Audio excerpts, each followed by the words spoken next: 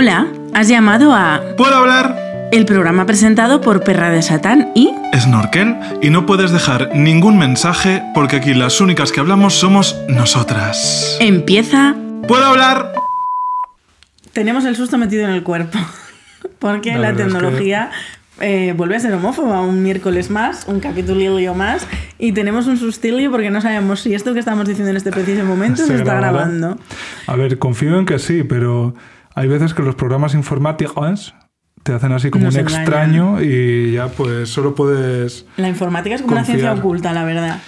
eh, desde luego para mí es más misteriosa que la ufología, la verdad. Yo sé más de extraterrestres que de informática, Sí. estoy completamente segura. Pero bueno, parece que está... Si, no- si esto lo estáis escuchando, hola cariños, y significa que un nuevo éxito del colectivo en el Día de la Visibilidad Lésbica, ¿por qué no? que es que se grabe este programa. Bueno, Enrique, eh, hoy venimos Hola. a hablar de un tema muy personal que es eh, lo apasionadas que somos, lo que nos apasiona. No confundir con el sexo, o sí, a lo mejor vamos a hablar de sexo hoy, pero en principio no es pasión en un sentido sexual, sino pasión, en un sentido, eh, pues lo que nos mueve, ¿no? Lo, que, lo que tira de nosotros, de nuestro corazón hacia adelante. Y que yo creo que no es, ni en tu caso ni en el mío tampoco es excesivamente lo sexual. Bueno, tú no me has visto a mí follando.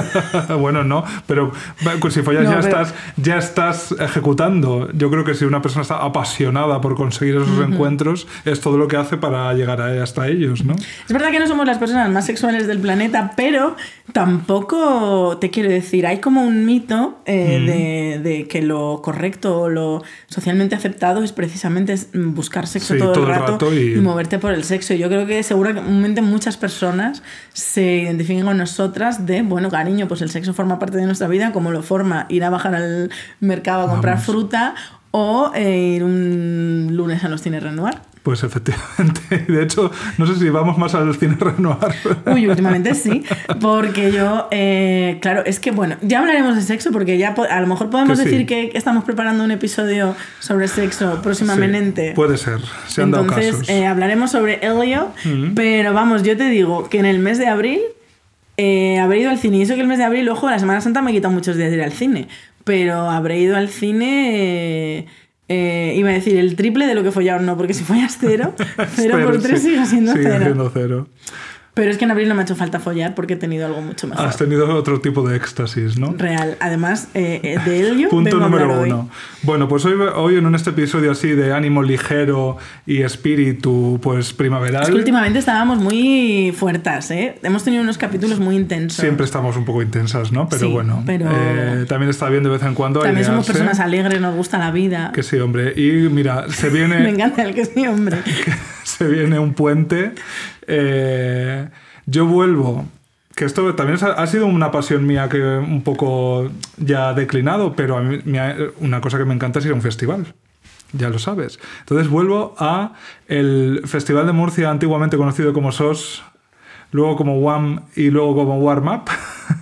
Entonces, mi reencuentro con el escenario Eroski, que creo que ha cambiado tanto la cosa que ahora es el escenario Carrefour, que es el parking donde se hace botellón antes de ir al Uh. En festival. Zamora también cambiaron el Eroski por el Carrefour, pero en. Zamora seguimos diciendo, "Baja- vamos al Eroski. y es Pues un eh, Carrefour. eh, eh, quien, quien estuviera presente en el escenario Eroski en los años buenos del SOS, allá pues hace ya una década, Que se llama SOS de ayuda. se llama SOS 4.8, me parece. O luego un porcentaje o una cosa así. Complicado. Creo que era porque destinaban ese, ese- esos ingresos, ¿no? Ese porcentaje de ingresos a causas sociales. Me Ah. quiere sonar. Pero bueno, aquello eh, acabó, en- vamos, hubo como ahí, pues bueno, co- como pasan muchos festivales, ¿no? Que cambia quién lo hace, luego mm, se renombran, etcétera. Y, pero bueno, en mi corazoncito, porque el Sol fue el primer festival al que fui, en mi corazoncito, Yo no me acuerdo del primer festival al que fui. reencontrarme con ese parking y esas buenas gentes que uno siempre se encuentra en el festival, en la cita murciana, pues va a ser eh, gran pasión del Oriente también. No me acuerdo de cuál fue el festival al que fui. ¿Cómo he podido olvidar el yo? Yo fue el. SOS Misterio. ¿Sabes ¿Por lo que qué? me apasiona también? Que me traigan paquetes. ¿Habrá suerte? Volvemos tras esta pausa, pausa Hijas publicitaria. mías, ¿qué queréis? Es que grabamos en mi casa. Si es que esto bastante bien nos sale. Es muy hogareño todo, pues ya está en casa. Bastante te bien nos un sale. simpático un paquetillo que es. Cuéntale a la audiencia. Eh, pues, Yo quiero saber eh, la curiosidad. Esto entronca, eh, te lo voy a explicar luego, porque ah, porque entronca... viene, viene con una de tus Sí, pasiones. viene ah, hija. Con la que me deja es para el que final. no damos puntadas sin hilo. Esto está todo... Esto no lo pensáis, pero esto el chico era un actor. Y he dicho, ahora... Hablando de es- actores. Encima tengo que decirlo, es el repartidor guapo. Mm. Me ha tocado varias veces. Hablando de este. actores, ya te lo he contado, pero es que me he quedado tan choqueada viniendo para acá, por si acaso nos escuchas. Viniendo para acá me he cruzado con Álvaro Cervantes. mm, le miré, me miró y me dijo hasta luego. Y yo le dije hasta luego, así que ahora somos mejores amigos. Y a ver si ya está. quedamos un día para tomar unas Ya, cervecillas. ya podéis ir juntos a los cines Renoir. Eh, no sería el primer actor de fama internacional llamado Álvaro que nos sigue. Efectivamente.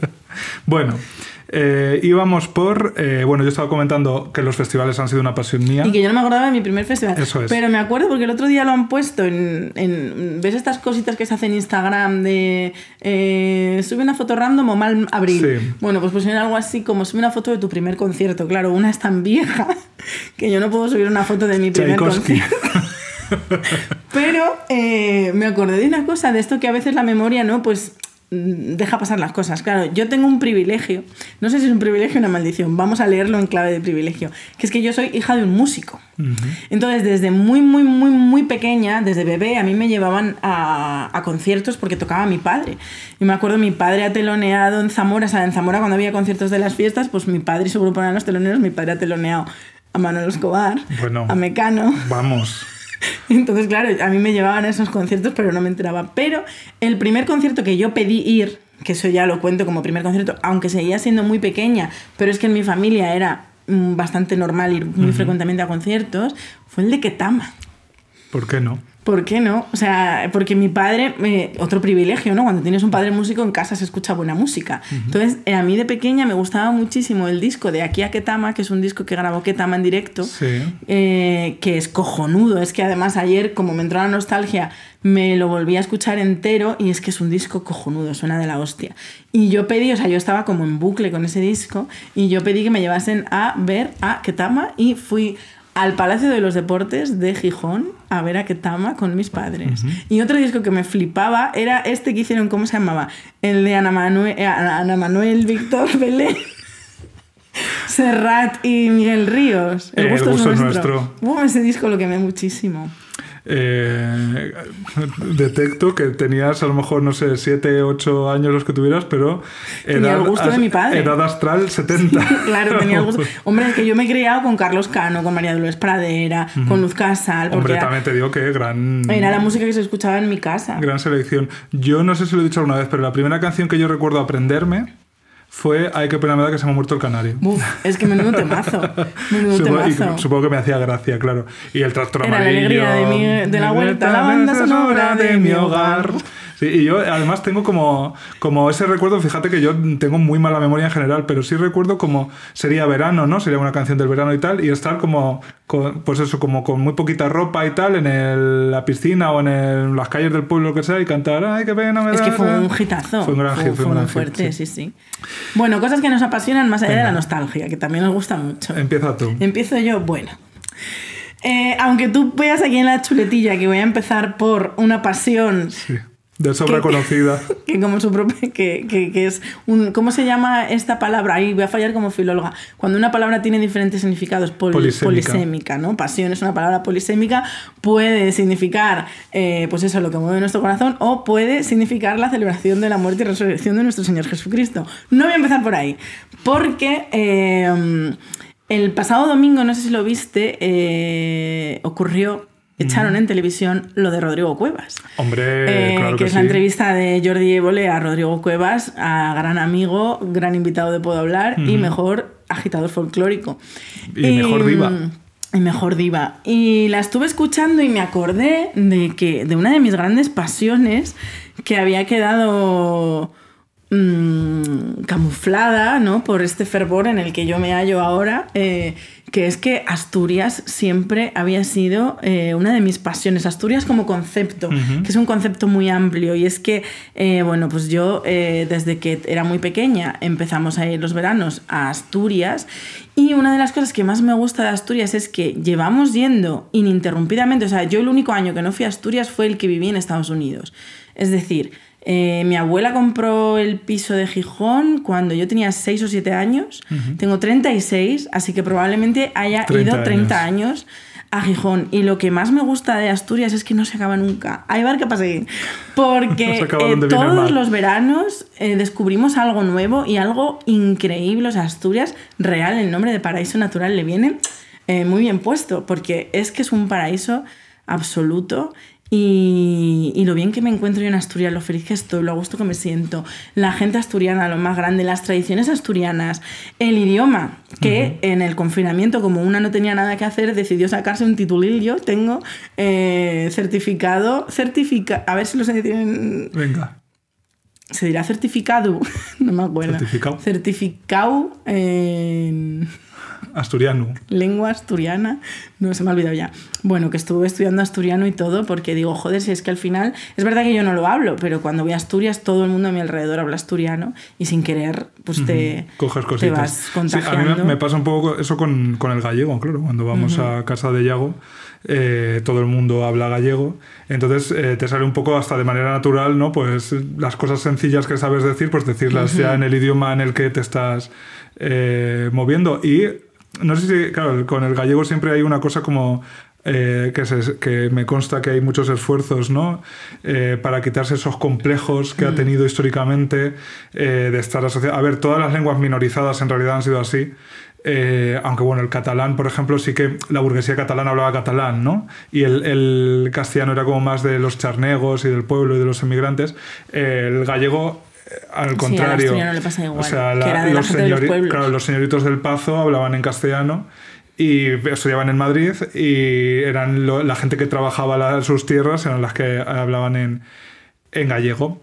En ese sentido, eh, yo creo que es mucho más como eh, en Valencia. En Valencia también, eh, como que en los pueblos se habla el valencia y en las ciudades, ¿no? Y la gente como más tal hablaban en, en castellano, ¿no? Y de hecho eh, ha habido, yo creo que incluso mm, alcaldesas de Valencia, DEP, y presidentes de la mm, mal llamada Comunidad Valenciana que no hablaban, mm, al menos fluidamente valenciano, ¿no? Y eso es una cosa que... En Asturias eso se nota mucho también porque, a ver, ya ha cambiado muchísimo. O sea, yo ya llevo yendo los suficientes años como para haber visto la evolución. el cambio, ¿no? Y es que mis amigas asturianas cuando eran adolescentes no hablaban asturiano, incluso lo denostaban en el sentido eso, que era como como de, De los abuelos, pueblo, de, pobres, de cutre, de- tal. Entonces eh, hablaban en castellano. Sin embargo, ahora todas, todas, sin excepción, bueno, es que todo el mundo. O sea, en Gijón, yo, en Sison, ya he notado un cambio brutal en eso, ¿no? De que cuando empezamos a ir nadie hablaba asturiano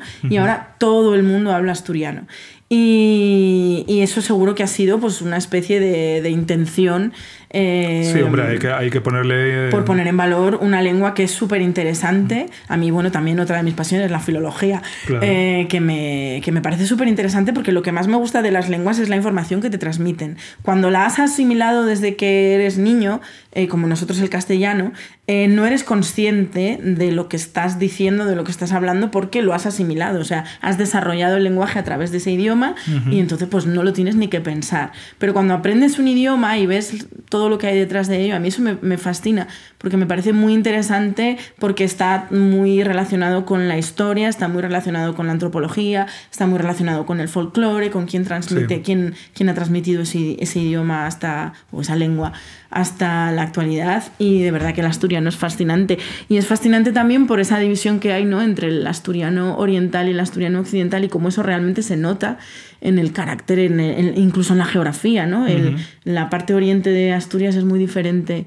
a la occidental, la occidental también está más cerca de Galicia, con lo cual el influjo del gallego, bueno, que me lío, ¿por qué? Porque me apasiona el tema. Pero No, viva Push. Asturias, eh, que claro Push que sí. Asturias, qué ganas de volver este verano.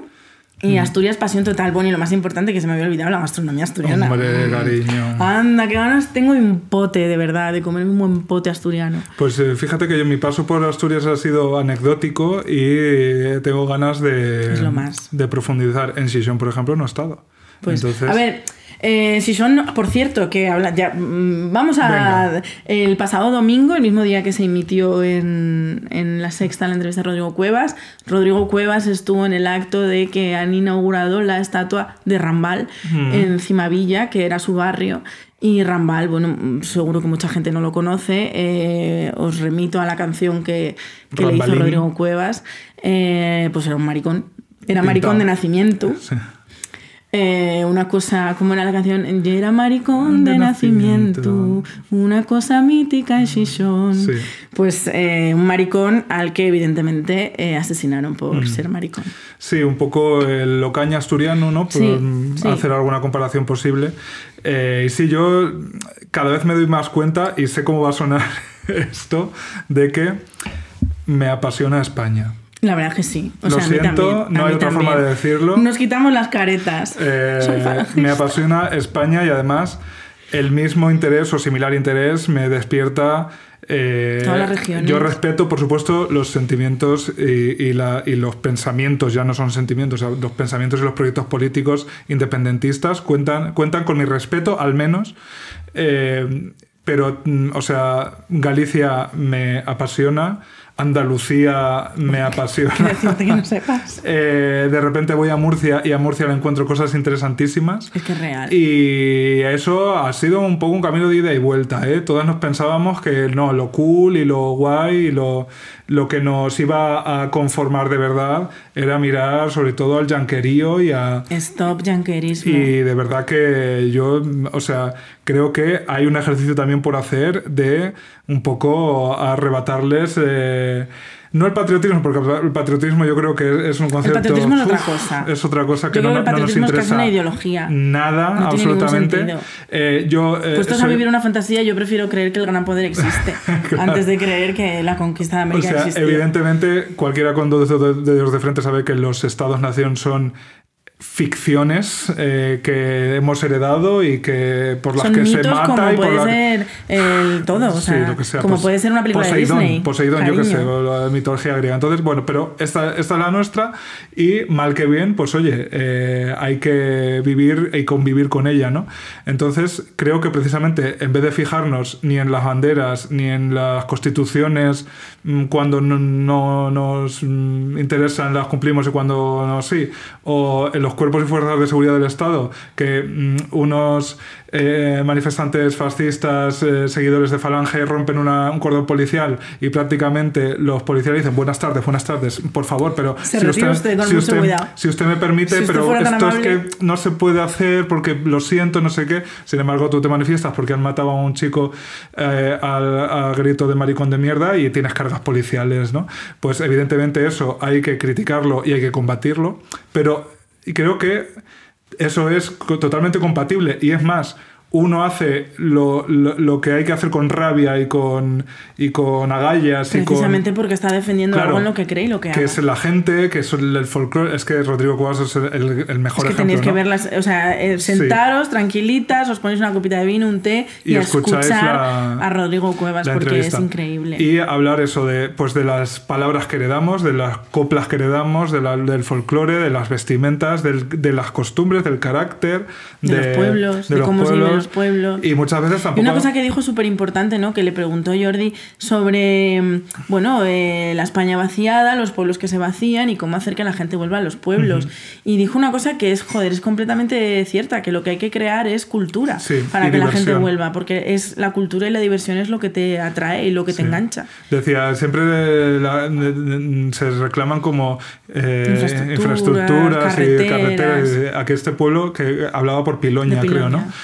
Estaba mucho más vivo cuando tenía un teatro, no cuando pasaba la, la carretera, ¿no? Y eso es la mejor definición también de... Y gran admiración del Oriente, eh, lo del Oriente lo digo por Rimmel y Castigo, que lo dicen siempre se me ha pegado, eh, que también fueron invitados, eh, a la gente que se queda en los pueblos, que se, que se queda porque es de allí, que regresa habiendo estado fuera y también que va a otro pueblo o a otra ciudad pequeña o a otra zona del rural sin ser de allí, que eso también parece que uno solo puede defender su terrenito, ¿no? El- lo suyo, porque es lo que, lo que en las escrituras mm, le conviene. Y muy al contrario, ¿no? Y ahora con Galicia me pasa mucho, que de repente ya empiezo a reconocerme y a sentirme allí parte de- del, del paisaje humano. eh, y como todo el mundo sabe, soy de Alpera, Albacete. Y al contrario, ¿no? Ahora voy a Alpera y de repente proyecto en ese pueblo em, pues las cosas que veo fuera y que me gustan, ¿no? Y que digo, pues mira, esto a lo mejor se podría hacer aquí o Claro, de repente sí, sí. lo que hablaba también Rodrigo Cuevas, eh, otro beso desde aquí, de la eh, autoestima colectiva, ¿no? Sí. Decía, la- subir la autoestima colectiva de, de los pueblos. Jamás me, se me hubiera ocurrido, ¿no? Formularlo Es que es así. completamente así. Y, es, y me parece como súper certero, ¿no? Sí. Y esos complejos, Yo ¿no? eso siempre lo he dicho de Zamora, que Zamora lo que tiene es un problema de autoestima. O sea, nos han convencido durante tanto tiempo de que somos la última mierda que lo hemos asumido y ni siquiera lo, lo debatimos. Entonces todas las ideas, ambiciones y proyectos que tenemos están pensados dentro de ser la última mierda. Y eso evidentemente afecta. Yo eso me di cuenta cuando yo trabajé en el psicólogo todo el tema de la autoestima, que la autoestima no es mirarte al espejo y decirte, ah, Qué cariño, guapa qué eres". guapa. No, eso es un poco la taza de Mr. Wonderful, pero la autoestima es otra cosa. Y cuando hice todo ese trabajo de, tra- de autoestima, me di cuenta de que de alguna manera ser zamorana había influido en cómo me, me percibo como persona y sobre todo como mujer, porque por el contexto ¿no? en el que has crecido. Entonces, completamente de acuerdo en lo de levantar la autoestima de los pueblos, porque, bueno, porque es así. O sea, eh, ¿por qué odiamos... eh, ¿Por qué odiamos, a- o sea, odiamos entre comillas, quiero decir, por, el, por este prejuicio que hay, ¿no? ¿Por qué odiamos Cataluña? ¿Por qué odiamos a Valladolid? ¿Por qué odiamos a Madrid? ¿O por qué odian a Sevilla? Eh, porque son ciudades que tienen, ciudades y comunidades que tienen la autoestima muy alta. Y, y eso eh, a los demás nos causa como rechazo de mira los que chulos, que no sé qué, que no sé cuál, que se creen mejores. Joder, pues en vez de bajarles a ellos los humos, eh, súbete tú para arriba. Pues sí. Pero bueno, veníamos con una listita. Venga, siguiente pasión. Yo he hablado de mi pasión por Asturias, Sí. esas montañas verdes, ese mar increíble, el mar Cantábrico, que el otro día vamos sin desmerecer, ¿eh? Pero a mí por lo que sea el Mediterráneo nunca me ha gustado. Bueno, Yo ahí difiero es, con Serrat. es una experiencia distinta. El Cantábrico es lo más grande. Mm. El olor. Un calamar a la plancha. Bueno, rico. pues yo, eh, para sorpresa de un total de cero unidades de persona, voy a hacer un pequeño paneo para las que estáis en YouTube y os voy a explicar mi primera pasión. Las estanterías. Ikea. Eh, corte, Yo, el, yo hago el ojo de pez lo deforma, pero... descripción, Enrique muestra su estantería completamente llena de libros. Pues hija, Y la esto solo es una pequeña muestra. Sí, la literatura, evidentemente. Eh, claro, yo en realidad me creo que mi pasión principal, por no ponerle puertas al campo, es la cultura y el arte. Quiero decir, me interesa mm, mucho todo lo que ha generado el ser humano para embellecer, mejorar, reflexionar, eh, hacer circular ideas, expresarse. Todo me interesa, la verdad, ¿no? Tengo, tengo, en ese sentido, soy muy omnívoro. Y evidentemente tengo mis gustos personales. Y de repente, pues hombre, sí, pues a lo mejor una exposición de, yo qué sé, de, de pop art, pues me llega más por sensibilidad que si me Sí, ves una 480 de. italiano. Eh, sí, o de, yo qué sé, de paisajistas rusos del 19. Pero a lo mejor voy con menos idea a los paisajistas rusos del 19 y me flipa. O sea que no tengo en ese mucho tal. Pero es verdad que la literatura para mí es mm, está un gradito por encima. Yo creo que ese grado, como si fuera una funcionaria asesina, se lo da la antigüedad. Porque eh, en mi pueblo no había cine, eh, no hubo videoclub hasta muy tarde. Eh, y de hecho yo no tuve vídeo hasta, pues hombre, yo era pequeño, ¿no? No estoy diciendo, Dios mío, era un niño de Oliver Twist y no tenía nada, pero a lo mejor tenía nueve o diez años cuando empezó a ver películas y vídeos en mi casa, ¿no? Y sin embargo cuentos y cómics de Mortadelo y Filemón y la biblioteca, que eso sí existía, y desde aquí le mando un saludo a Rafa Jara, el bibliotecario del pueblo, que sigue siendo el del pueblo.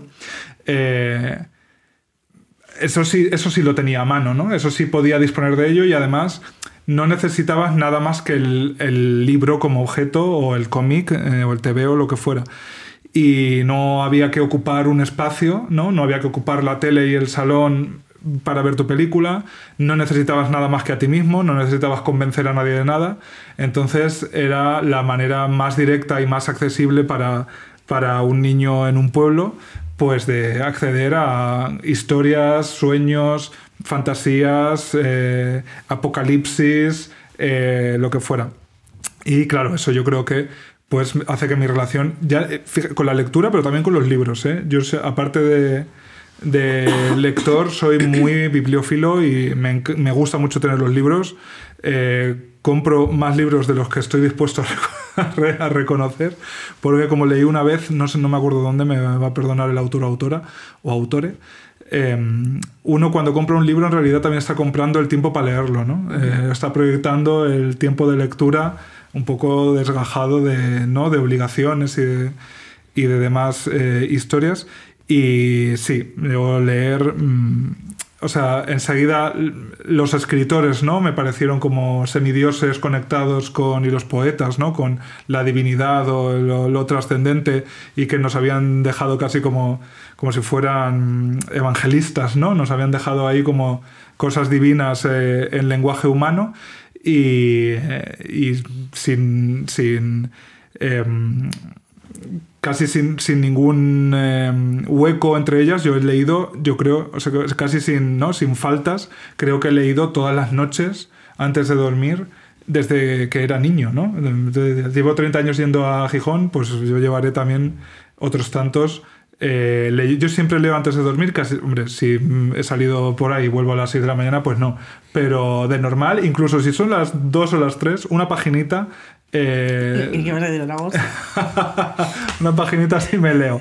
Eh, porque es, es- Fíjate que le- tiene algo de eso, ¿no? La literatura de punto intermedio entre la vigilia y los sueños, ¿no? Entre la vida diaria, cotidiana y la imaginación o, bueno, la- las historias, la fantasía.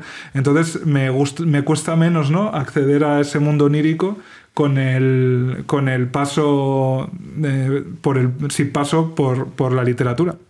Y de hecho, eh, interesadamente diré que ha vuelto Marica Páginas. Dilo. que es este podcast literario, espe- esta especie de club de lectura con perspectiva marica en formato podcast. Eh, después de unos meses de asueto, porque hijas mías, No a mí, me encanta, a mí me encanta leer, pero y me encanta grabar podcast y me encanta charlar sobre libros, es lo que más me gusta, pero la, la- a veces el, día a día te supera y, y no y una cosa que no le sacas más rédito que la propia satisfacción, eh, también pues chico, cuando puedas y como puedas. Y te quería preguntar si a ti te pasa una cosa que he detectado mucho a mi alrededor, que es que mucha gente eh, cada vez le cuesta más leer. A mí eso me pasó, ahora ya no. Eh, yo también he sido siempre muy lectora, aunque a diferencia de ti, a mí me encanta leer con luz natural. Mm. Por las noches, mm, no sé por qué. También es verdad que yo soy una persona súper diurna, ¿no? O sea, a mí por las noches me gusta dormir. Yo raro es el día que no estoy en la cama antes de las 12 de la noche. O sea, las 12 de la noche es como si fuera yo una cenicienta. O sea, hace- mi cuerpo hace pum. Entonces a mí me encanta leer por la mañana. Por ejemplo, para mí el mayor lujo que hay es despertarte, desayunar y decir, voy a dedicar la mañana a leer. Para mí eso es un lujo. o, en la, o en la piscina, o en la playa, en verano, tal. Eso es un lujo. Por la noche me gusta poco leer, soy más de ponerme, yo me pongo el capitulito de, de una serie. Pero en 2020 me pasó eh, que, bueno, que yo soy muy lectora, no me puedo comparar contigo. O sea, yo igual que le, podía leer al año 15 libros, ponte. Y si me habían tocado Bueno, bueno. mm, novelas gráficas, pues 18. Es más que la media. ¿eh? Bueno, Creo pero yo. que no es de. que leo menos que tú. Y mm, también antes, tam- por el trabajo, leía mucho en diagonal, leía muchos que eso no los contaba como lecturas porque al final leías el libro para hacer la entrevista o lo que sea. Y en el 2020, con la pandemia, pues yo decía, hija, qué bien, estás encerrada en tu casa, no tienes nada mejor que hacer, pues anda que no tienes lecturas atrasadas. A leer, no podía, no podía, no podía, no podía, no podía. O sea, no podía mantener mi atención ni siquiera una página y me frustraba muchísimo. Entonces, ante esa situación, puedes tomar dos opciones. Una, obligarte más todavía a leer o decir, bueno, cariño, pues si no te apetece leer y lo que te apetece es volver a verte The Office por séptima vez, pues ¿por qué, ¿Por qué no? Mm. Y entonces en 2020 creo que solo leí tres libros en todo el año. Yo he tenido también años un poco más extraños, ¿eh? pero sí es verdad que, que el, el leer es muy mi sitio de seguridad, pase lo que pase, ¿no? Entonces creo que eso hace mucho... Es más la costumbre, ya te digo. No, no- yo no tampoco tengo sacralizada ¿no? el acto de la lectura. La literatura un poco sí, porque, joder, pues porque al final es, es mi arte por, ¿no? el que más consumo y el que más disfruto probablemente y el que, al- en el que el que más me interesa. Pero tampoco me parece que leer te haga ni más listo, ni mejor, no. ni nada más. Eh, leer, eh, se pueden leer cosas horrorosas y que sean un mero pasatiempo que no te deja más que el tiempo que has eh, invertido en ello ocupado.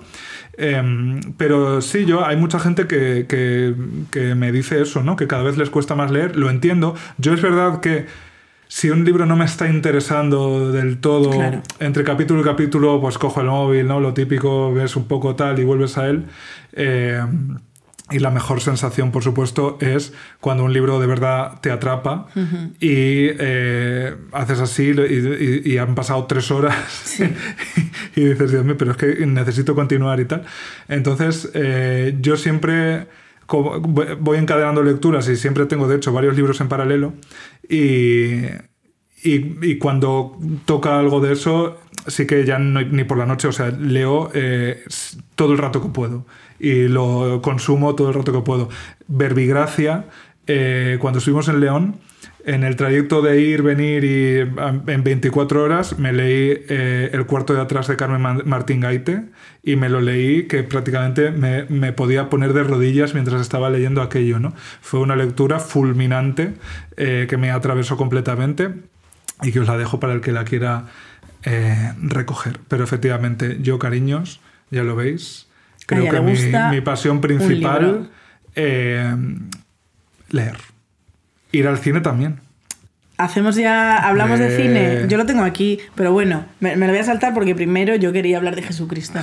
Pero eh, esta semana tenemos una película muy fuerte. ¿eh? Esta semana es el- uno de los estrenos más esperados y ya está estrenada. O sea que vamos a dejar que Begoña Piña eh, os sorprenda, pero esta película, especial atención.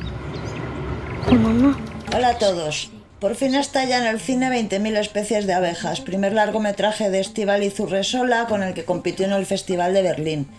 Allí su protagonista, la pequeña Sofía Otero, se alzó con el Oso de Plata la mejor interpretación. Luego ha sido la película ganadora en el Festival de Málaga, donde también se llevó el premio a la mejor actriz secundaria para Patricia López Arnaiz. Es la historia de un verano y de un niño que no se reconoce como tal y que piensa y siente en femenino.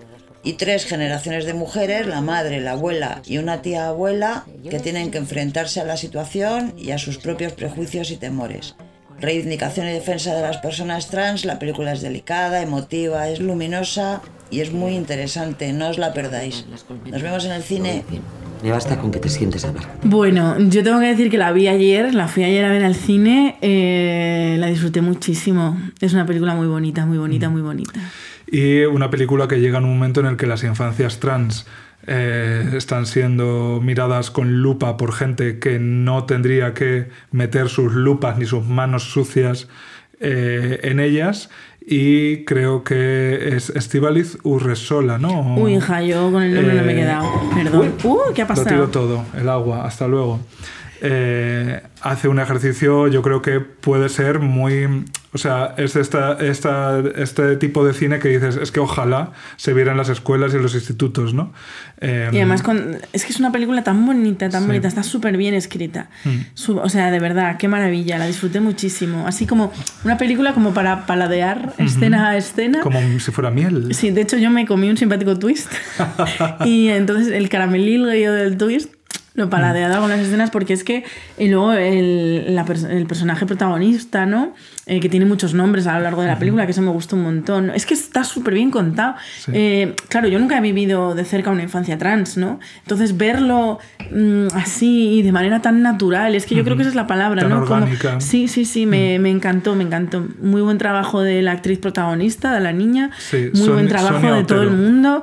Porque se están llevó el oso de plata en la. Berlinale, Sí, ni más ni menos. Es Es que de verdad súper bonita la película. Sí. La disfruté muchísimo. Óperas primas de cineastas mujeres españolas. O es que literalmente el futuro del cine racha, el es presente. Mm. eh, el presente del cine, pero del futuro más, porque Sí. cuanto más dinero tengan, más van a hacer. Se viene súper interesante. Vivan las mujeres Pues sí. cineastas, Y yo las creo mujeres que narradoras, celebrando que 20.000 especies de abejas es una película tan significativa y que nos llega tanto a nosotras pispas, creo que podemos sortear una tarjetilla. una tarjetilla de los cines Venga, Renoir, que llevamos nos unos diga cuantos ¿Cuál es su especie de abeja favorita? de las 20.000. No, podemos, podemos decir un- un- una pregunta muy bonita que es, para ti, ¿qué película representa la infancia Mm. eh, de manera o acertada o mm, sublime o mm, bonita o al contrario, ¿no? Como tenebrosa pero realista, ¿no? Porque la infancia ha habido... La mía es Parchís contra el hombre invisible. en la mía Manolito Gafotas. Eh, entonces, como siempre, ponéis un tweet nombrando a los cines Renoir, arroba cines Renoir y arroba, Arroba puedo, guion bajo, guion bajo, hablar. hablar. Y contestáis a esta pregunta y uno de vosotros podrá ir más barato al cine todo, Todo el el año. año y dos invitaciones, invitaciones. para ver la película que tú quieras. Y creo que te invitan a- el día de tu cumple también. Sí. Hijas mías. ¿Qué ¿Qué más más queréis? queréis? que les saquemos, que drenemos a los cines Renoir de la ubre de los cines palomitas. Renoir para vosotras? Bueno, pues ahora sí. Venga. Ha llegado el momento de decir la verdad. Pasiones de perra de Satán. Bueno, yo. Eh, vale, lo digo porque ya se sabe, Pasión de Perra de Satán, la Semana Santa. Pero fíjate que no digo de Sevilla. Ah, cuidado, porque yo he dicho, quiero ofrecer una reflexión que vaya más allá de ¡Madre mía, la Macarena! Porque claro, quiero decir, es que eso al final es muy difícil poner en palabras lo que has sentido. Entonces yo quiero que se entienda, ¿no? Entonces yo he estado reflexionando estos días eh, sobre no cuál es mi pasión, sino por qué. ¿Por qué me apasiona la Semana Santa? Porque es que, fíjate, yo en Sevilla, el sábado santo, yo estaba con una bajona. O sea, yo el sábado santo me desperté y de repente fui consciente de que era sábado santo y dije, por favor, ojalá alguien me mate. Porque no quiero seguir viva y tener que esperar 365 años a que vuelva a haber una madrugada. Todo- sobre todo si tienes que esperar 365 años. eso, días. Por suerte solo eran 350 porque el año que viene la Semana Santa es antes. O sea, yo me levanté, me levanté llorando, me duché llorando, desayuné llorando, caminé por la calle de Sevilla llorando, me fui a ver al Gran Poder a ver si encontraba un poquito de consuelo, me senté a llorar. O sea, eh, yo el sábado estaba muy malamente. Y entonces, pues mira, gracias a Dios, la gente sevillana maravillosa, me dijeron, pues vente a beberte unos whiskies. Y, y yo que sé, te animas y dije, pues igual el alcohol es la respuesta. Total, que tomándose estos whiskies, pues estábamos así conversando y una de las chicas con las que pasé el sábado santo, pues estábamos hablando un poco de por qué nos toca tanto la Semana Santa, porque acabábamos de ver pasar una, bueno, una mini procesión, porque lo que vimos pasar fue el Santo Entierro Grande, uno, vimos pasar Redención y yo llorando a lágrima viva. Y yo lloraba, pero como una mezcla de sentimientos de, madre mía, es que esto ya es lo último que voy a ver, yo no me quiero ir, que no se acabe nunca. Y entonces estábamos hablando de eso. Porque, perdón, el domingo no hay ya... es que yo el domingo me venía a las 7 de la mañana porque era el único tren disponible. Cuando yo Vale, decidí vale, irme a vale. Sevilla, entonces Pero el domingo hay, hay ¿no? procesiones de resurrección. claro, claro. Pero yo ya no las veía. Yo el sábado era mi último día y yo no, no podía soportarlo, literalmente.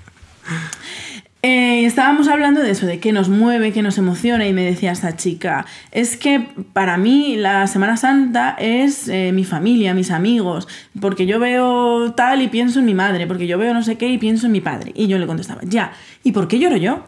¿Por qué estoy viendo Redención, que es la primera vez en mi vida que veo este paso?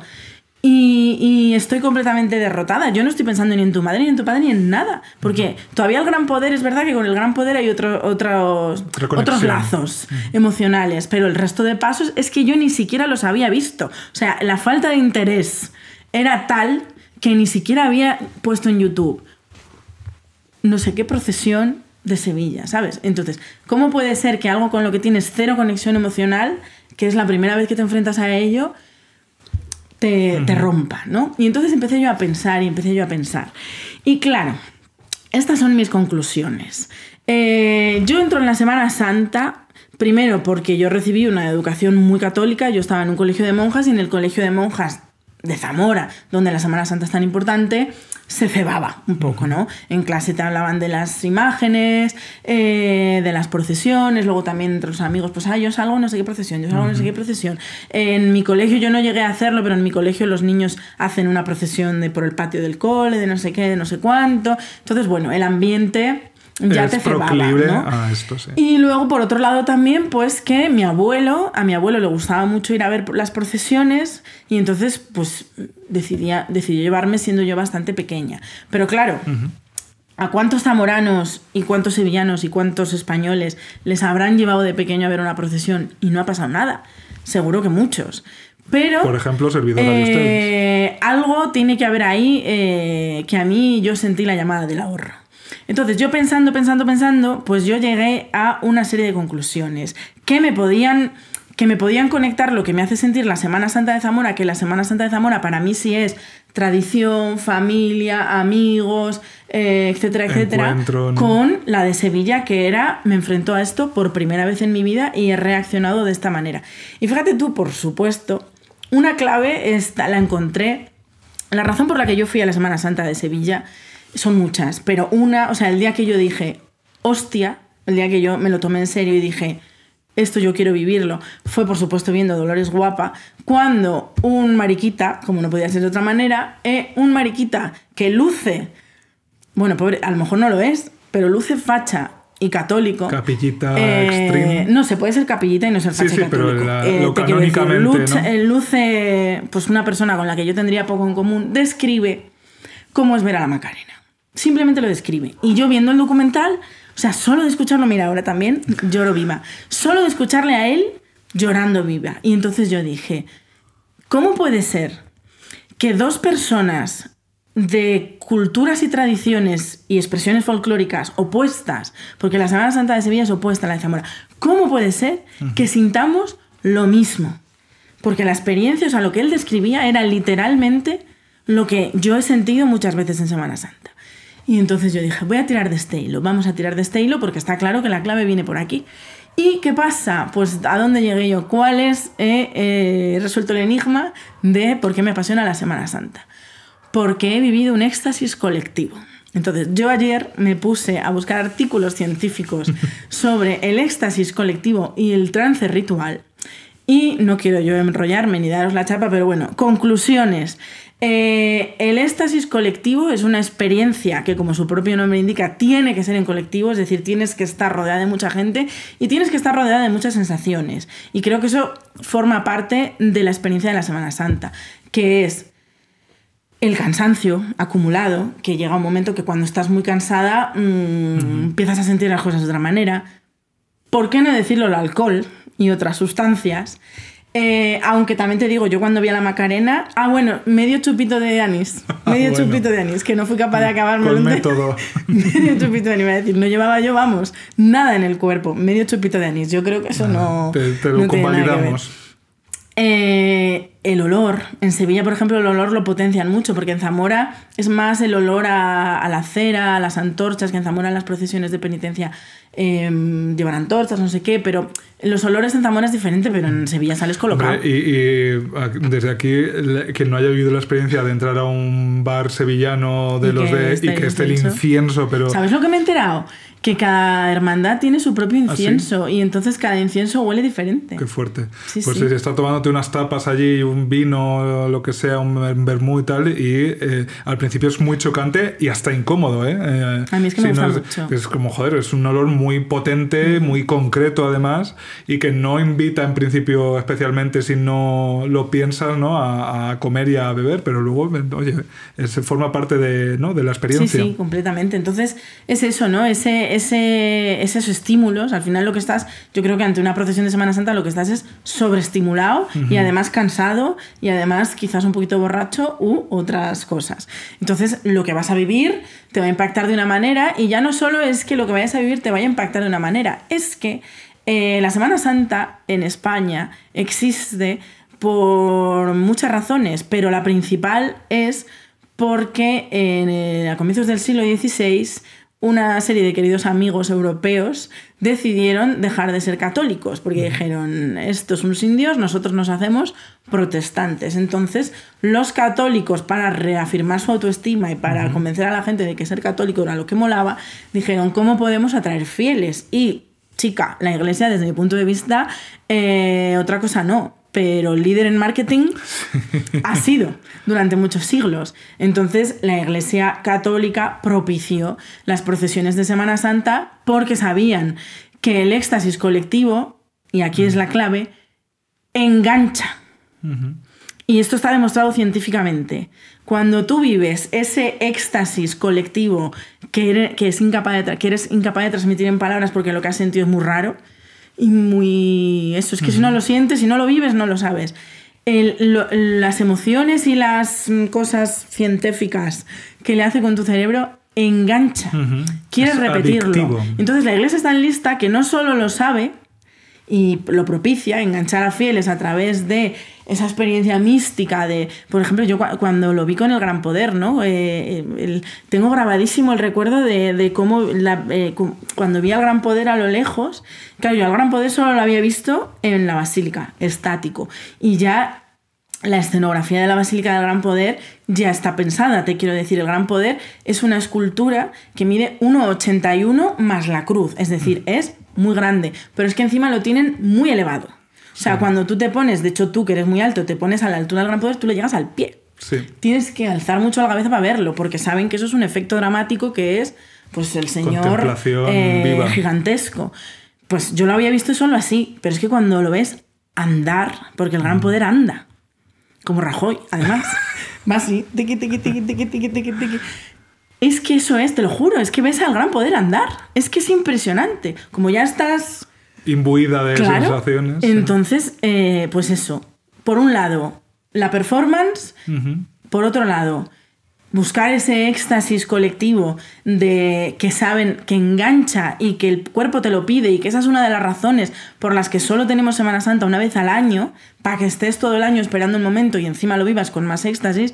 Y ahora a día de hoy es verdad que se permiten procesiones extraordinarias, salidas extraordinarias, no sé qué, pero antes en las reglas como de las... que, llevan de, una iglesia a otra, ¿no? hacen otras cosas porque al final ahora también se han dado cuenta que otra manera de atraer a la gente es darle procesiones todo el rato pero hubo un tiempo en que las reglas de las cofradías solo se permitía a la imagen salir una vez al año porque querían, querían crear como ese hype para que fuera todavía más fuerte. Eso, el éxtasis colectivo por un lado, pero por otro encontré un texto también súper súper interesante que habla de el trance como resiliencia, resiliencia cultural, ¿no? Eh, la búsqueda del trance eh, como eh, recurso que tenemos los seres humanos para curarnos las heridas emocionales, ¿no? Eh, eso también puede explicar mucho a esa gente que, bueno, que cuando está pasando un mal momento se refugia en la, en la religión, no sé qué, porque al final sientes esa... Es que de alguna manera sí lo sientes, sí que puedes llegar a entrar en trance porque puedes ver...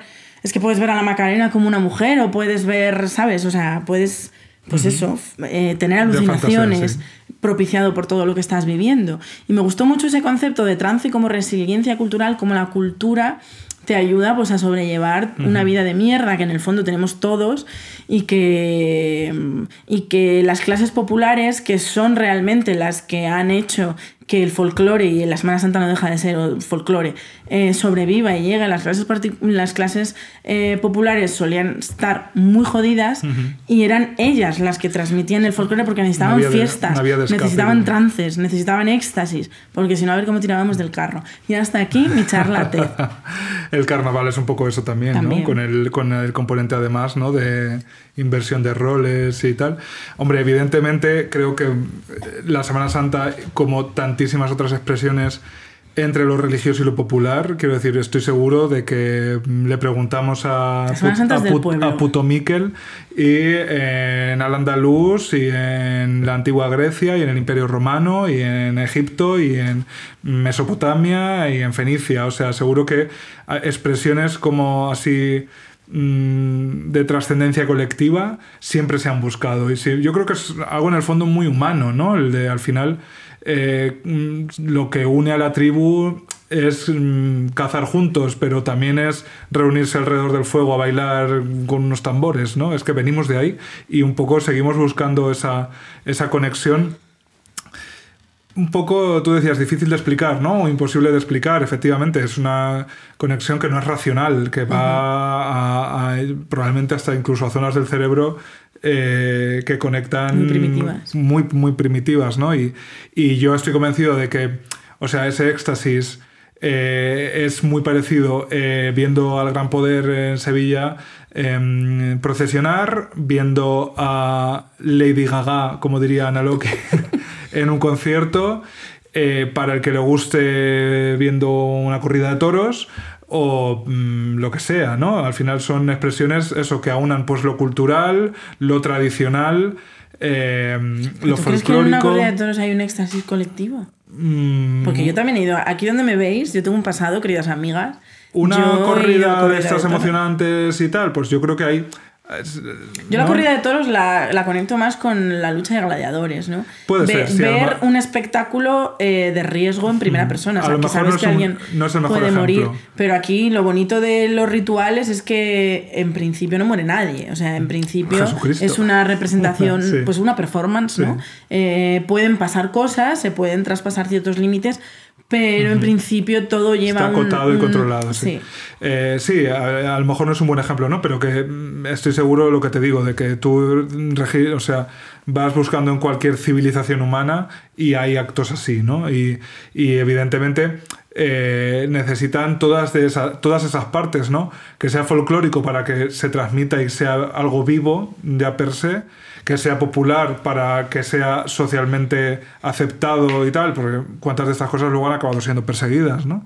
Y luego que sea religioso o al menos que tenga esa cierta idea ¿no? de, de divinidad o de elevación, eh, pues yo estoy comple- completamente seguro de que a un mariquilla en el concierto de Lady Gaga en París mira a Lady Gaga como tú miras al gran poder, ¿no? Hay algo similar ahí, Mm, ¿no? No sé, yo no soy mariquilla, pero, pero te quiero decir, he visto muchos ídolos sobre un escenario.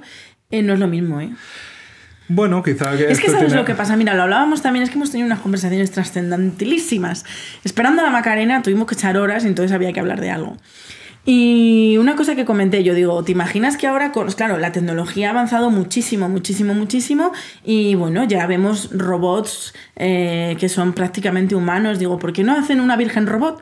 Y que vaya ella a su vida y se mueva y salude. O sea, eso se podría hacer, pero ¿por qué no se hace? Porque porque parte de la magia de la Semana Santa de Sevilla es el, el, el- el que sea una figura de madera. Porque, Claro. ¿sabes? Porque forma parte de- del control. Porque sabes que no se va a mover. Porque sabes, porque eres tú la que proyecta en ella lo que quieres que haga. Eres tú la que la ves a ella y la que la haces trascender. Pero si trasciende sola, si ella sola se empieza a mover y te habla y te no sé qué, se pierde toda la Hombre, ¿y magia. y por porque domina ella. O sea, la imagen es tuya.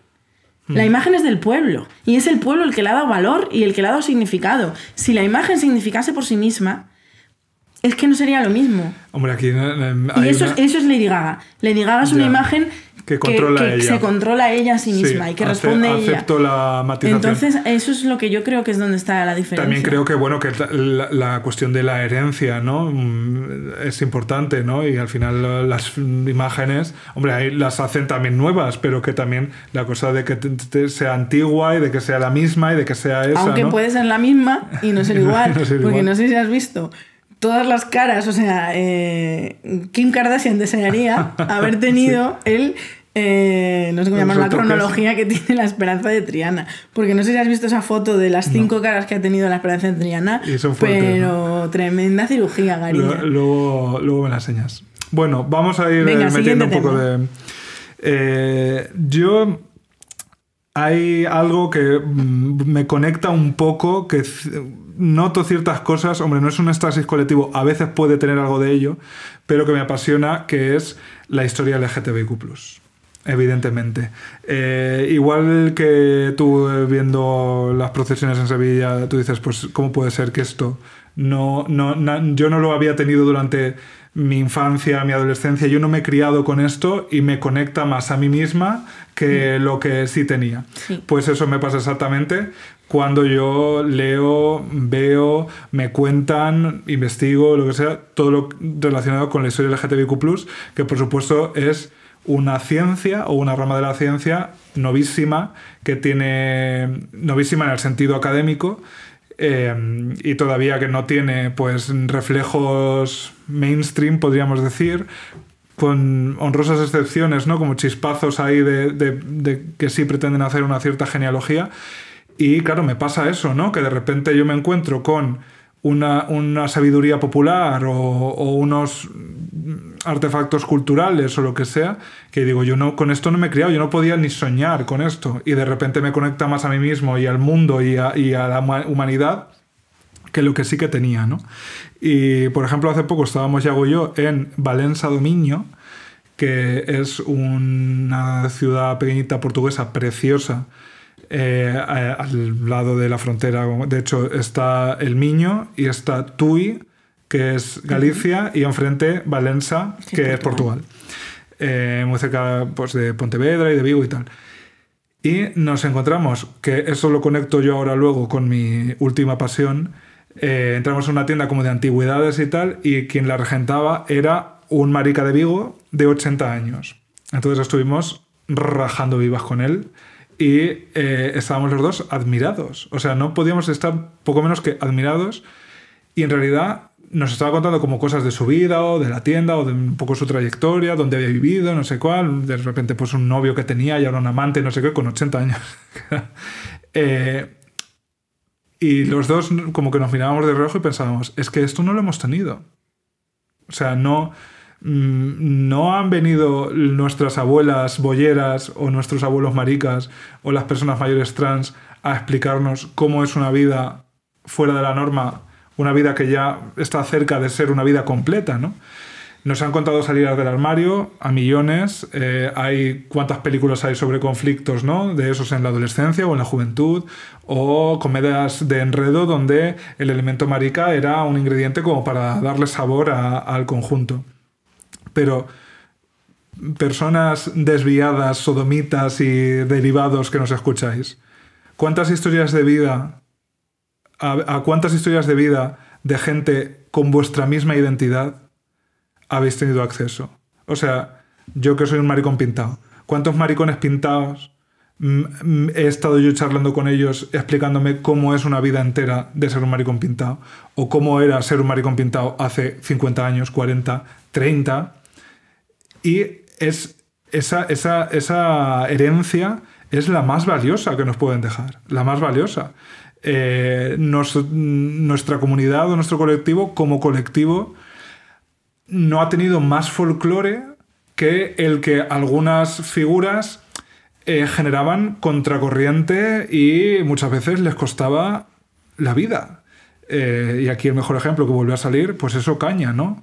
Que eh, de Ocaña sí que mm, de repente había, había ahí una figura que está casi, bueno, hay un documental, ¿no? De Ventura Pons, pero está, estaba casi esperando a ser descubierta por toda la comunidad LGTBIQ+. Es, es que, y cuando la hemos descubierto, quienes la hemos descubierto, por eso se le hacen homenajes en Drag Race, por eso de repente tú hablas de Ocaña Claro, con la gente... sale un rambal en Drag Race, La- verás sí, tú. y la gente lo sitúa, o sea, empieza, ¿no? De repente la cosa ya a palpitar de una manera, pero mm, todavía eso no, o sea, es que iba a poner un ejemplo que a lo mejor, pero esta gente que asistió a ese meeting de Begoña Villacís en el Marta Cariño, y no me duelen, no me duele decir, no me duelen prendas decir dónde fue y con qué, con el soporte de quién. O sea, esos maricones del Marta Cariño eh, que le bailaron el agua a Viñacís, eh, si conocen a Ocaña, no. mm, Si, les, si han oído hablar de ella porque Marina eh, le hizo un homenaje o porque Paquita le ha hecho otro homenaje en Drag Race, han dicho, uy, mira qué gracioso este maricón tal, eh, no les ha impregnado, ¿no? Y es esa impregnación la que a mí me apasiona, ¿no? Y de hecho, a mí me ha ocurrido una cosa que es que yo soy periodista o estas cosas, lo que sea, pero de repente yo me formo así como autodidactamente en historia LGTBIQ+, ¿no? Y ahí, por ejemplo, Ramón Martínez, que ha sido invitado a este programa, es pues toda una referencia. Y de repente pienso, pero si es que yo he venido al mundo a esto, ¿sabes? A, a trabajar con esto, a, a hacer algo con esto, a, mancharme las manos y a moldear cosas con, con esto. Y por eso decía, no es un éxtasis colectivo, pero yo sí siento de repente que la- el sentido de mi vida queda afinado ¿no? por ese- esa melodía eh, que ya te digo que me sirve Ocaña, pero me sirve Mili de Bercana, que también ha sido invitada de Puedo Hablar. O sea que la historia de Mili, eh, o sea, te la coge Ryan Murphy. Murphy y te hace una temporada de una serie entera solo con... Y Mili tiene 60 y algún años. O sea, es que con Mili puedes ir a hablar con si la ella. queréis escuchar, os remitimos al episodio que nos quedó muy Memoria bonito. LGTBIQ+, y podéis ir a ver Cana y También charlar con ella ella muchas veces. Y es una persona que además te cuenta, o sea, que te cuenta que no, no, o sea, te lo cuenta todo, o sea, que, que, le pare- que ella yo creo que también es consciente de que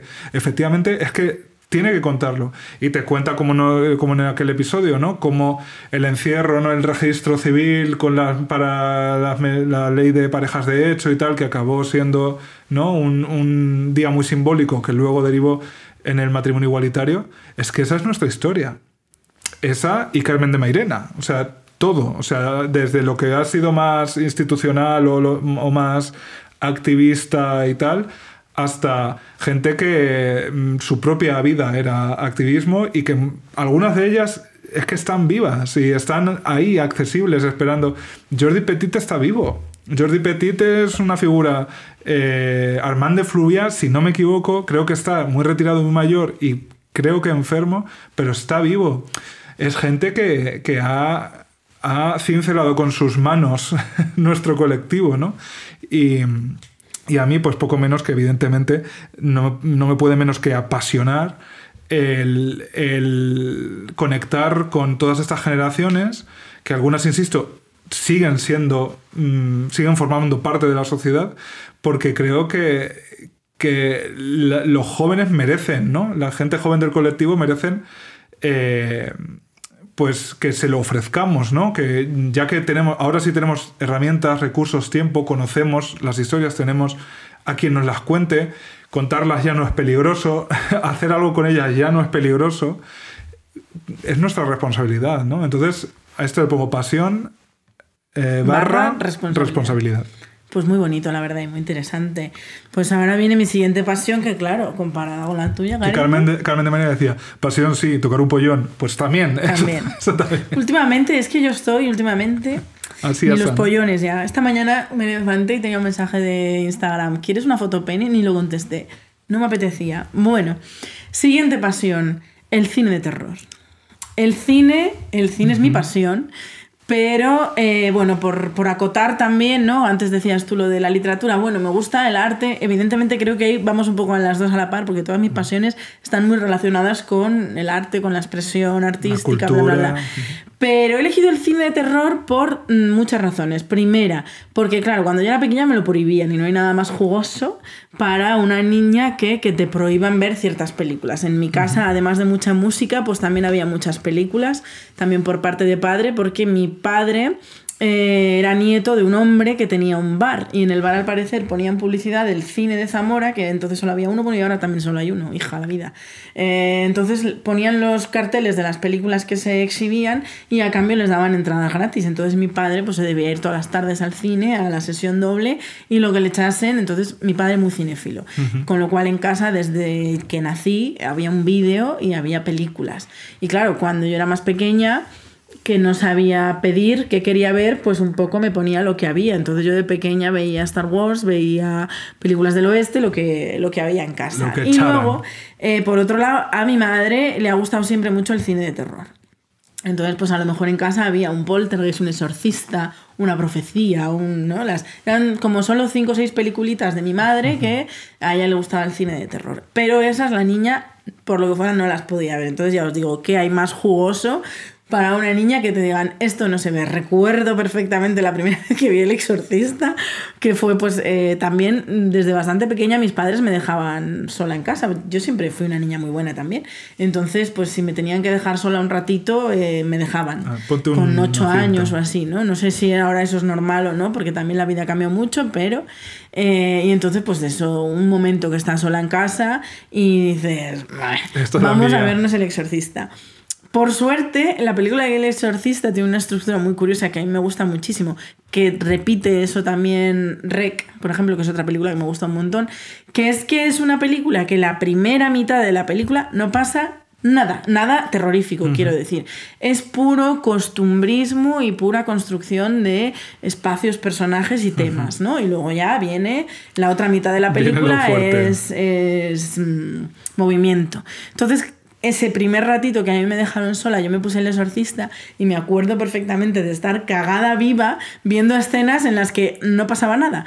Y yo en plan de, ay, ay, ay, ¿cuándo van a salir los demonios? Además, era antes de la... resta- eh, la primera versión del exorcista que yo fui fue la antes de la restauración, que en la restauración que se hizo del exorcista, la, no sabes si sabes que esa película tiene imágenes, ¿cómo se dicen? Subliminales.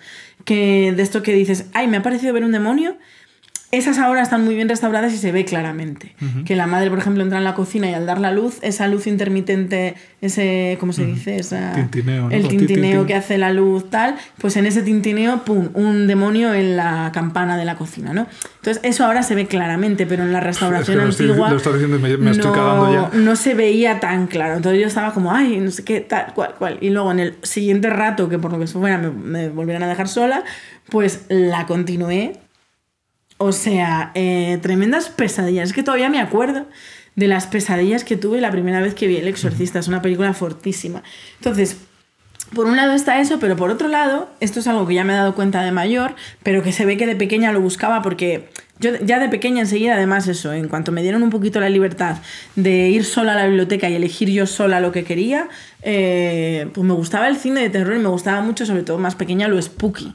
¿No? Lo, Sí, lo pesadillas. monstruoso, pero que no, claro, pesadillas. Me obsesioné con Buenas noches, señor monstruo, porque me parece un peliculón. eh, las aventuras de Enrique y Ana, que también hay un malvado, así no sé qué. Bueno, spooky para niños. Todo eso me. me- pelis de Tim Burton, todo eso. Y, y una cosa que me di cuenta de mayor es que eh, yo una vez fui al Parque de Atracciones de Madrid.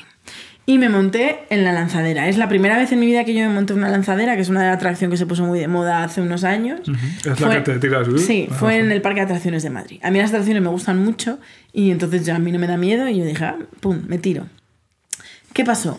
Que yo bajé de esa atracción nueva, como si hubiera salido del fisio, o sea, completamente nueva. Y dije, ¿Cómo puede perdón? ¿qué es esto?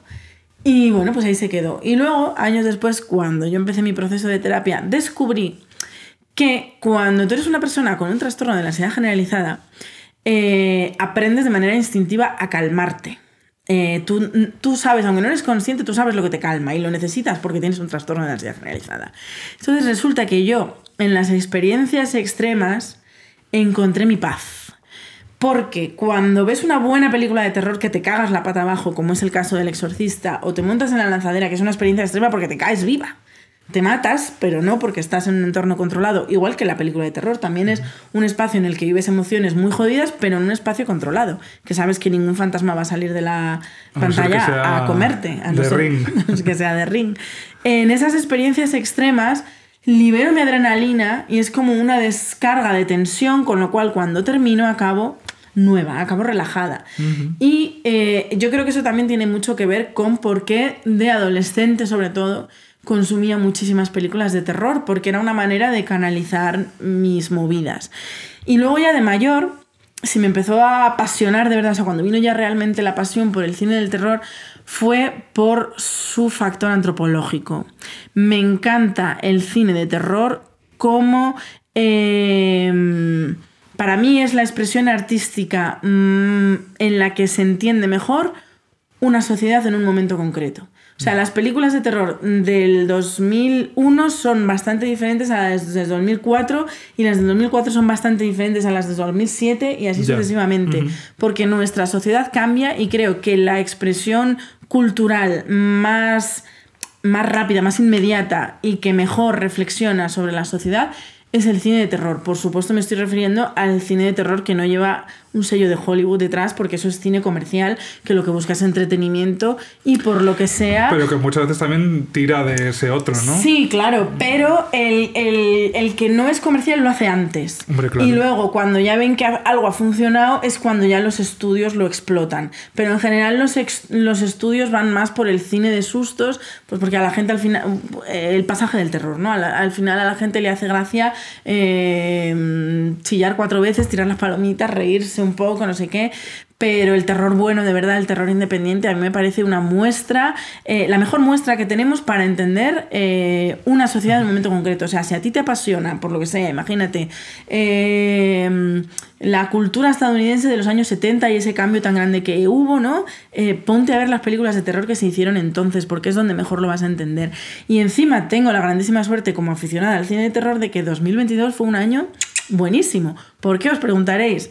Muy sencillo, cariño. Cuando nos encerraron a todas ca- en casa vivas en marzo del 2020, uno de los primeros pensamientos que se pasó por mi mente fue, "Puf, ¿qué películas van a salir de aquí? Porque estamos viviendo una experiencia muy extrema y, y, claro, necesita un poco de tiempo para que esas películas se desarrollen, pero ¡pum! Esas películas llegaron en 2022. Y el año pasado hemos tenido muchísimas películas muy, muy, muy buenas, muy significativas. He señalado algunas de ellas, mis favoritas. eh, El criterio ha sido mis favoritas. He señalado Smile, Nope, Cerdita, Pearl y Men. Eh, porque son películas, Pearl no, Pearl es otra cosa, pero las otras y la mayoría de las películas que se han estrenado en 2022 son películas en las que hay una amenaza externa, pero esa amenaza externa ya no necesita siquiera ni ser definida, sino que se asume como, o sea, por ejemplo, en Nope pasa una cosa muy rara, ¿no? Esa amenaza que de repente llega a la vida de un chico que vive en un rancho cuidando caballos, ¿no? Y cómo ese chico ni siquiera se plantea, pero ¿de dónde viene? ¿Pero qué está pasando? ¿no? Eh, Por ejemplo, en los años 2000, con eh, el efecto del terrorismo del 2001 y las Torres Gemelas y demás, eh, se asumía que había un, un enemigo que venía y te hacía cosas, pero ese enemigo había que entenderlo para poder combatirlo. Ahora ya ni siquiera hay que entenderlo, ya es como se asume que parte de la vida es que de repente Hay te caiga peligro. una invasión extraterrestre encima y tú lo único que tienes que hacer es sobrevivir como puedas, ¿no? Entonces, eh, en, en estas películas, esa amenaza externa que ni siquiera necesita ser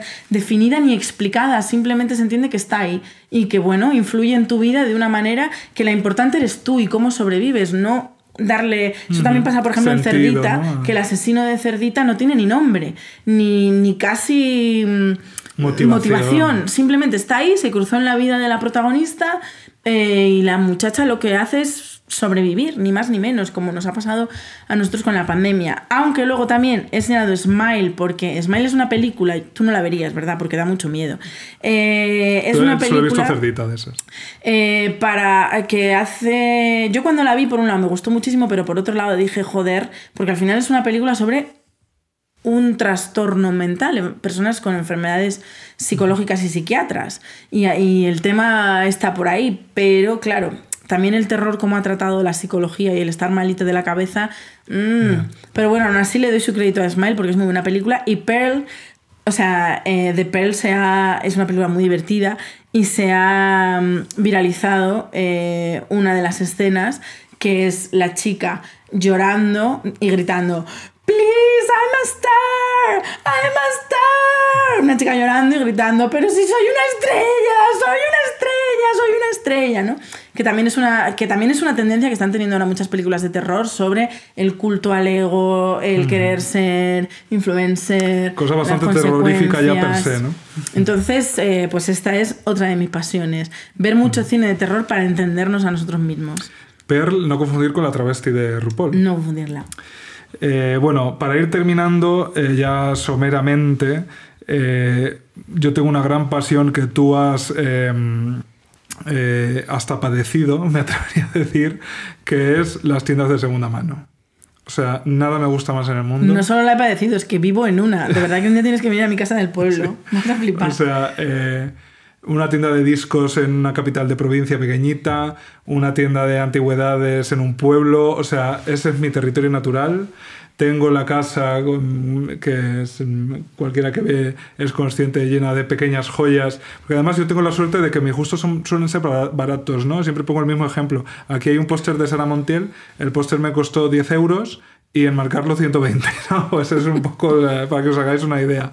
Em, entonces, eh, nada me gusta más que mancharme las manos con ese polvo de décadas Y aparte de libros y discos, que es lo que más compro, pues eso, mm, objetos de todo tipo, eh, cosas que en principio a lo mejor no tienen mucho valor, digamos, monetario. O sea, un rastro me flipa. Y un rastro, además, ya te digo que, eh, sobre todo en sitios pequeños o ciudades no muy grandes, me parece que siem- siempre son más interesantes que irte aquí al rastro de Madrid, que al final es una cosa como mastodóntica, donde hay al final todos los sitios que son muy grandes se acaban pareciendo mucho a sí mismos, ¿no? Y siempre encuentran las mismas cosas en los mismos puestos y se pierde un poco eh, la emoción de encontrar joyitas eh, en, en sitios donde menos... eh, menos te lo esperas. Y esto me hace un poco reflexionar precisamente en el concepto de valor, ¿no? Las cosas que te encuentras cuando han pasado un par de décadas. Porque, valor claro, no confundir con el chocolate. No.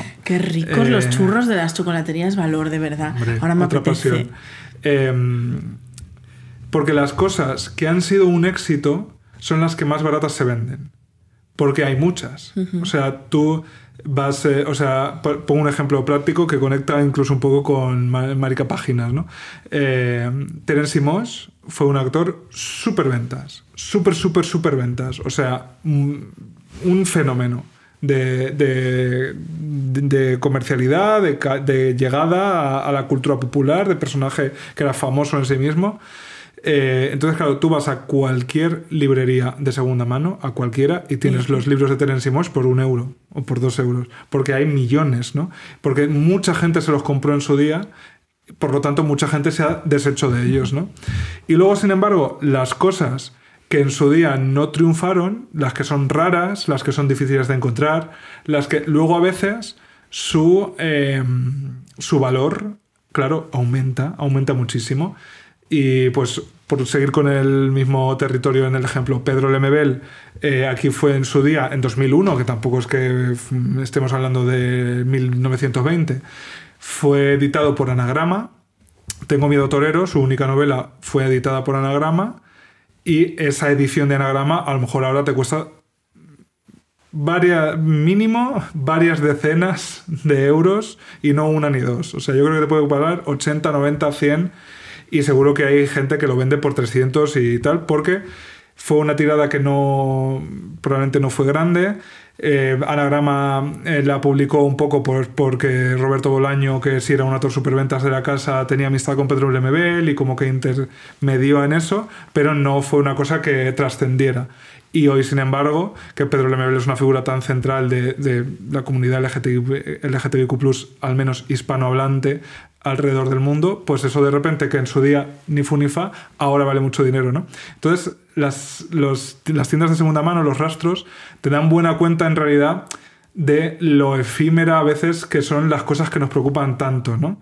El nombre, la fama, la llegada, el no sé qué, y sin embargo que a lo mejor haces una cosa que, que en vida, ¿no? O en ese momento no parece importante y que luego sí puede serlo. ¿Te consuela eso de no poder pagar el alquiler o no poder comprarte lo que sea o no poder tener unas vacaciones porque no recibes mucho dinero? Pues no, no, no te consuela, pero bueno, eso no quiere decir que las cosas que no triunfan en el momento no tengan valor y que no sean valiosas ya más allá del precio eh, para el futuro. Y esa idea también me consuela y se ve muy bien en, eh, en las tiendas de segunda mano. Qué interesante, querida amiga. Decía Nuevos problemas técnicos. Hoy es un día, en fin, bueno. eh, mi última pasión. Mi última pasión eh, que he señalado aquí, los museos. Concretamente, eh, entre todos los museos del mundo, realmente los que más me interesan son las pinacotecas. Pero es cierto que estoy abierta a todo tipo de museos. De hecho, como decías tú antes, que aunque te interesa una serie de arte que si de repente te metieras en una exposición sobre paisajistas rusos del siglo XIX te fascinaría, pues una de las cosas que más valoro de Madrid precisamente es que aquí hay exposiciones que yo no elegiría ir. Pero ya que estoy aquí, a lo mejor un día tengo una tarde libre, así no sé qué, soy muy yo de meterme en la agenda de Madrid Turismo, eh, que te dice todas y cada una de las exposiciones que hay en, la- en Madrid Capital, y decir, a ver qué hay. De repente, pues he visto cosas. A ver qué ponen. A ver qué ponen, a ver qué dan, a ver qué echan. Y he visto cosas que yo no hubiera salido de mí y decir, ay, pues esto me apasiona y, y, oye, pues todo, todo bienvenido. ¿Por qué me apasionan los museos? Pues fíjate, últimamente me encuentro yo en una diatriba con esta pasión de los museos porque cuando fui a Londres el pasado mes de febrero, eh, básicamente mi viaje consistió en ir a un museo cada día. Y porque es lo que más me gustaba hacer en Londres, ir a museos. Esto también, es que en Londres mi relación con los museos cambió. Ya se estaba oliendo en Nueva York, eh, pero justo al año siguiente de vivir en Nueva York me fui a Londres, es cuando mi TCA empeoró, o sea, lo peor que he estado en mi vida ha sido cuando estaba en Londres. Entonces los museos, usaba los museos como forma de evasión. En plan, eh, en los museos, desde mi punto de vista, pasa un poco como en la Semana Santa, estás sobreestimulada. Tienes una obra de arte cada segundo. Sí, que así lo quieres. Entonces, eh, claro, te atrapan tanto, no llaman tanto tu atención, que es una buena forma de evasión, porque en lo que estás admirando un cuadro, no estás pensando que tu vida es una mierda, que te sientes frustrada y que todo te parece mal. Y aunque esto no explicaría única y exclusivamente mi pasión por los museos, porque también es algo que he sentido desde que era muy pequeña. Yo no sé si esto está ligado, porque también he intentado darle un twist, ¿no? A, a como a la Semana Santa de por qué me apasionan los museos.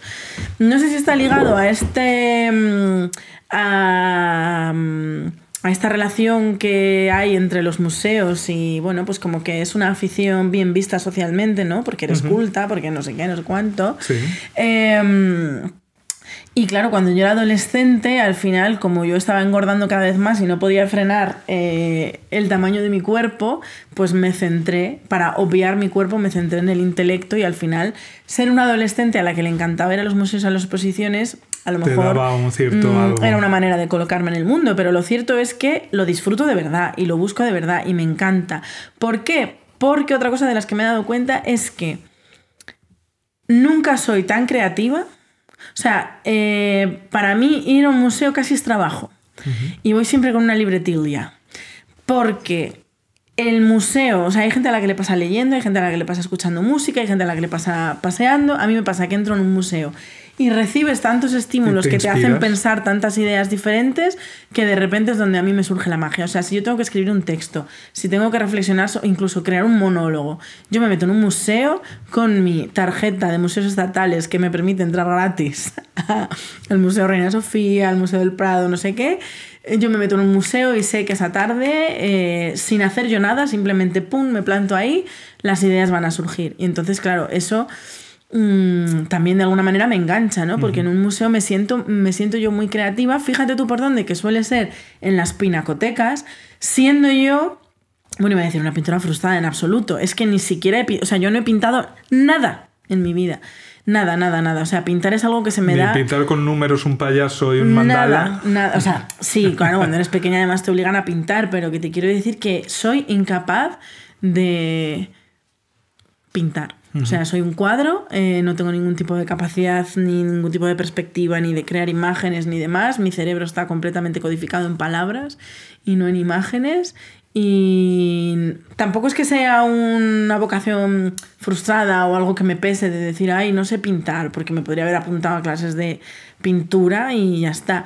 No, no, no, es que no me hace falta saber pintar, porque con admirar lo que han hecho otros, pues a mí me sienta estupendamente, me gusta, Sí, me gusta mucho. ha habido, o sea, exposiciones o museos de los que he salido y dices, joder, Es que, sales completamente transformada. O sea, no soy el mismo que entró. real, real, a mí también me pasa. A mí me pasa mucho más con pues Leonora Carrington, por ejemplo, ¿no? Ahora, o, o sea, cuando es una exposición de una de toda una vida, me, me suele pasar más. Y, y cuando te la contextualizan, em, de manera que vida y obra no se van, porque entonces ya no solo es la obra que ha dejado ese artista, sino además eh, cómo fue su vida, ¿no? Y lo decía antes con los escritores, ¿no? La vida del escritor, la vida del artista, ¿no? Como aspiración, incluso esa parte bohemia y tal, siempre me ha traído mogollón, pero sí me parece to- totalmente lógico que em, en un sitio pensado para contener algunas de las mejores ideas de algunas de las mejores mentes del mundo o de la historia, pues ahí de ahí salgas inspirada, claro. Y decía antes que estaba un poco en conflicto con esta pasión mía porque cuando fui a Londres, uno de los museos que decidí visitar eh, fue el Museo Británico. Y mm, en el Museo Británico han abierto el debate sobre, bueno, eh, por qué existe el Museo Británico, que básicamente es porque un señor ya no tenía dónde meter todo lo que había robado. Sí. Y, y bueno, es un debate que ahora mismo está muy presente. Claro, el, el museo, digamos, el museo como espacio y como.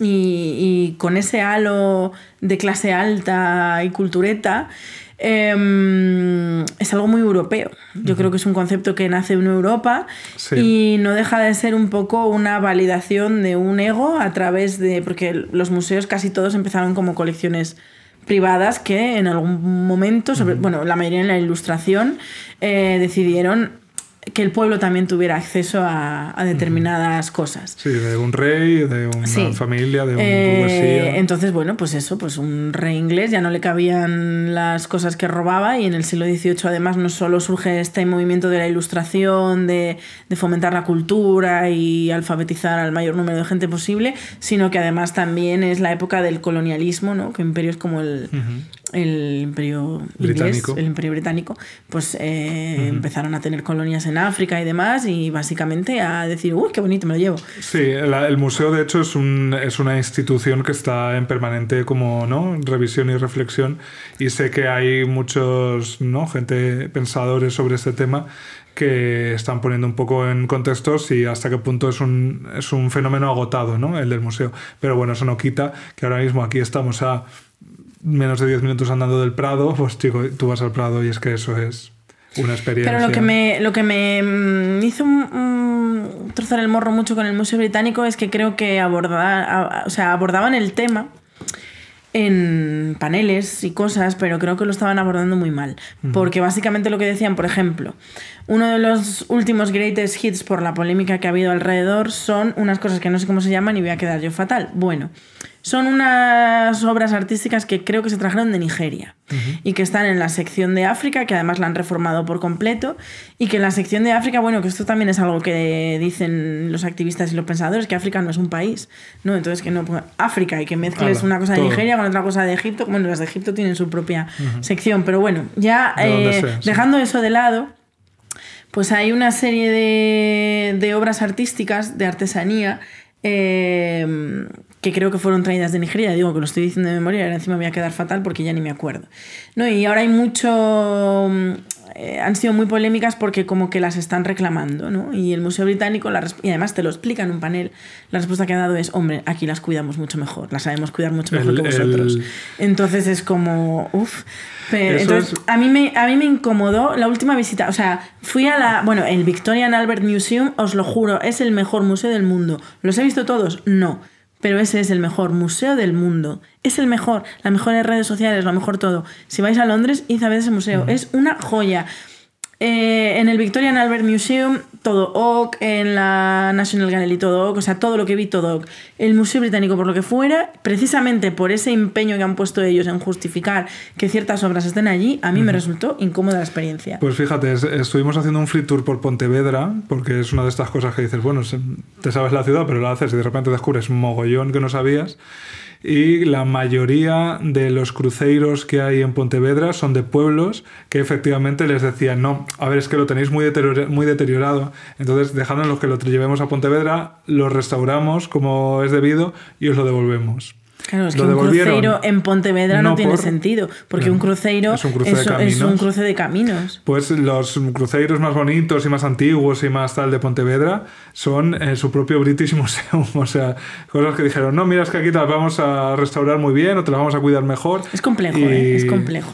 Y nunca, nunca más se supo de ellos. Le ¿no? dejo la argumentación a los expertos, pero sí es cierto que esto no me lo puede negar nadie, es que mi experiencia en el British Museum eh, fue incómoda, precisamente por... Es que, o sea, si lo vas a hacer, hazlo bien, porque ¿cuántos otros museos hay en el mundo? Pues chica, el Met. El Met también está Sí. lleno de cosas robadas, sin ir más lejos de Castilla y León, que ahí hay un montón de cosas de Zamora Sí, hay, y hay de una- Valladolid. y hay de... una capilla entera, ¿no? Los, Una- los cloisters, que también es una experiencia que recomiendo muchísimo, son bastante desconocidos para los turistas, porque suelen ir al Met, pero los cloisters están a desmano, hay que ir hasta allí, y eh, es un convento reconstruido piedra a piedra de Soria. Ya. Y es muy bonito. Y está lleno de eh, objetos del románico y gótico europeo, sobre todo español. ¿Por qué? Porque robar en Zamora, hija. Era más fácil. Y, En fin. y eso, bueno, pues que no sé, que ya que vas a hacerlo, por lo menos, pues hazlo bien. Pues sí. Y si no, no vamos, lo hagas. vamos acabando. Yo simplemente Venga, mentar venga. que tengo una pasión perdida relacionada con esto, que es que yo me pasé mi infancia dibujando. Y ya no dibujo Tú sí, nunca. pero yo no. Sí, yo me, o sea, me pasé la infancia dibujando. Por influjo de Ibáñez, por supuesto, primero y principal. Eh, pero sí, yo quería ser dibujante de cómics. Quizá me atrajeron primero los dibujos y luego me quedé en las historias, ¿no? Y, y me he reconvertido un poco en eso. Pero yo, mi, mi imagen, más que leer, ¿eh? Eh, vamos, más habitual del Enrique Niño era rollizo, metido en su sillita en la mesa, un taco de folios así y venga a dibujar. Más que pintar, ¿eh? más que colorear, era dibujar, hacer los dibujos y tal.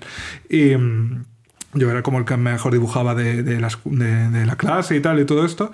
Y eh, además hacía una cosa que cuando no me gustaba, eh, por eso me gustaba tener un taco de folios, ¿no? dibujar sobre el taco, porque hacía así, le daba la Entonces luego llenaba ¿no? ese taco de, de bocetos que no acababan y cuando me los encontraba, pues entonces ya a lo mejor los retiraba. Pero primero, como para ocultar, "Oye, no me está saliendo, venga, pues ala, le doy la vuelta entera y, y sí, me preguntabas antes, ¿qué te ha llegado? Pues me ha llegado un lápiz Anda. digital para que me tiene que llevar también una tablet que me he comprado y porque últimamente estoy pensando mucho en ello, en que, en que yo dibujaba todo el rato y últimamente no estoy yo sacando que luego ya haré una, un 6 y un 4 y hago la cara de tu retrato, pues bueno, pues quiero hacerla. Entonces digo, mira, a ver si con esto de poderlo llevar y de aquí y allá y tener todos los colorinchis y tal en la propia tablet, a ver si me... Pues mira, ahora que lo si me dices, animo. me has recordado otra cosa que yo no me traía preparada, pero ¿sabes lo que hacía yo todo el rato cuando era pequeña? Cantar. Y eso tampoco lo has... No lo he retomado nunca. Pues a lo mejor unos Y de coros pequeña cantaba todo el día en mi casa. De hecho, aquí un día te lo conté que te volaba la cabeza y yo juro que es verdad, que teníamos una mini cadena que le dabas a un Sí. botón y, Y te- automáticamente te... eliminaba la voz y yo cantaba encima el disco de Ana Belén que lo tenía yo quemadísimo. Yo, de peque- yo una niña de 7 años cantando besos, ternura. España, me encantaba cantar. Luego, como me gustaba mucho cantar, me empezaron a meter en coros y empecé en coros de la parroquia y coros religiosos, el coro Ciudad de Zamora, pero acabé en un coro de zarzuela, que yo he actuado en el Teatro eh, Alcalá, que hoy se llama, ¿cómo se llama ese teatro? El que está en la calle Alcalá, un poquito más Sí. arriba del Círculo de Bellas Artes. Eh, Rialto, No, no, tiene nombre de marca ¿De ya, como marca? Cofidis. Hagendas. Bueno, no, ese es el Calderón. Bueno, yo he actuado en el Teatro Alcalá cantando Agua, Azucarillos y Aguardiente. y eso ya no me lo quita nadie. Y fue empezar la carrera en la universidad y me apunté al coro universitario, pero no me gustaba nada, nada, nada, nada, nada. No me gustó el ambiente, no sé por qué. Y dejé de cantar. Pues y nunca más. hay. En Barcelona sé que hay un coro de maricas, Y en Madrid también, ¿eh? sí. Y no sé si habrá el coro bisexual de. El coro bisexual de, España. Arganzuela. de España.